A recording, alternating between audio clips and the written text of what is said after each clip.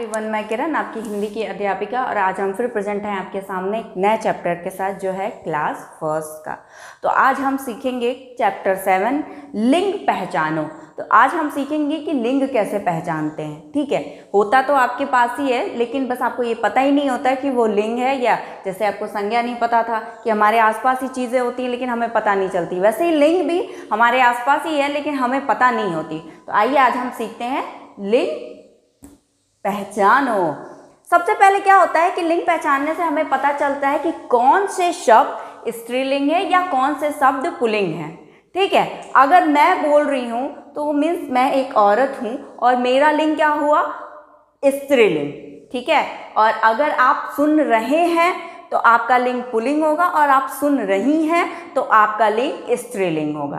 ठीक? वैसे ही जैसे पुरुष।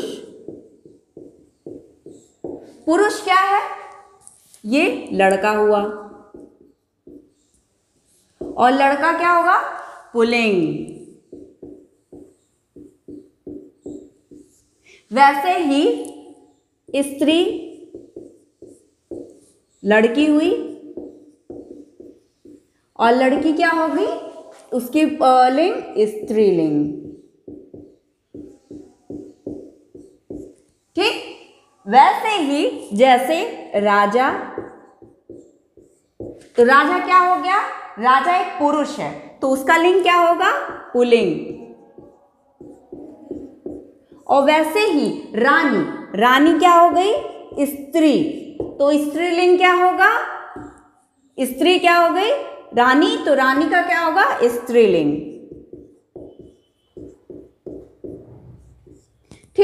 वैसे ही आपके घर में मम्मी, वो एक स्त्री है तो उनका लिंग क्या होगा? स्त्रीलिंग। और ठीक वैसे ही आपके पापा आपके घर में है तो उनका लिंग क्या होगा? वो एक पुरुष है तो पुलिंग। ठीक है? अब आपके घर में दादा भी होंगे तो वो दादा क्या हो गए? वो पुरुष हो गए। तो दादा पुरुष हो गए तो उनका क्या लिंग होगा? पुलिंग। और ठीक वैसे ही दादी, दादा, दादी क्या हो जाएँगी? दादी एक स्त्री हो गई तो दादी क्या होंगी? पुलिंग। ठीक? अब और भी जेंडर समझते हैं, जैसे भाई। भाई एक पुरुष हो गया। पुरुष का क्या होगा? पुलिंग। और ठीक वैसे ही भाई के बाद बहन। तो बहन क्या हो गई? बहन एक स्त्री हो गई तो उसका लिंग क्या होगा? स्त्रीलिंग। तो आपने ये एग्ज़ाम्पल से देखे कि ये कैसे हो गया? अब ये तो थी लोगों की बात। अब अगर हम बात करें जानवरों की तो बैल क्या है? बैल। बैल क्या है? बैल जानवर है और इसका क्या होगा? पुलिंग। बैल क्या होगा? पुलिंग। ठीक है? और वैसे ही गाय। गाय क्या होगी? स्त्रीलिंग। ठीक है? मोर।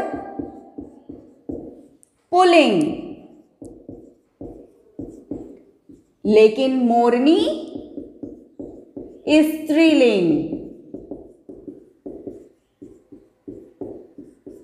ठीक है?